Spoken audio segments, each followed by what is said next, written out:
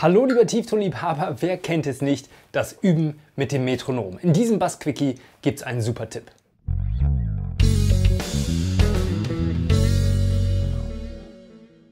Na klar, es ist Mittel zum Zweck und hilft auch sicherlich dein Timing und deinen Rhythmus zu verbessern, aber ich weiß aus eigener Erfahrung, dass das Üben zum Metronom auch schnell nervig werden kann, wenn es dann einfach immer so weiter tickt.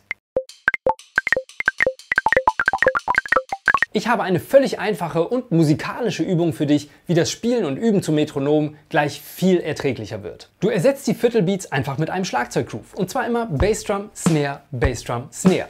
Und schon hast du immer einen super Groove, der letztendlich nichts anderes macht, als dir das Tempo und die Viertel zu geben. Aber dann mit Musik und mit Spaß.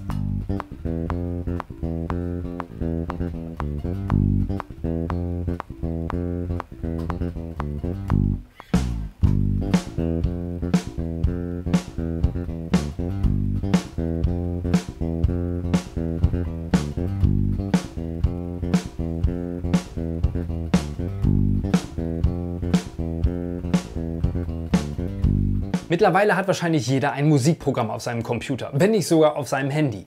Also eine Software oder eine App wie GarageBand oder Logic oder Pro Tools oder Cubase und es gibt noch tausend andere. Und da kannst du dir einfach eine Spur mit einem Schlagzeugsound machen und dir so einen Beat erstellen. Bassdrum, Snare, Bassdrum, Snare. Ganz einfach. Oder noch einfacher, es gibt hier auf meinem YouTube-Kanal einen 10 Minuten langen Track in Tempo 100, der genau das macht. Bassdrum, Snare, Bassdrum, Snare.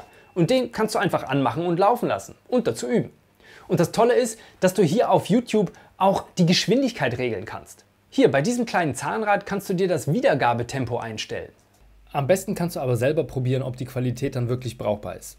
Der Link zu diesem Track steht hier oben oder auch unten in der Beschreibung unter dem Video. Und das war's auch schon wieder in diesem Video. Diesmal ein echter kurzer Bass-Quickie. Hat dir dieser Tipp gefallen? Dann drück gerne den Gefällt mir Knopf und abonniere auch gerne meinen YouTube-Kanal und schalte die kleine Benachrichtigungsglocke an, dann bleibst du immer auf dem Laufenden.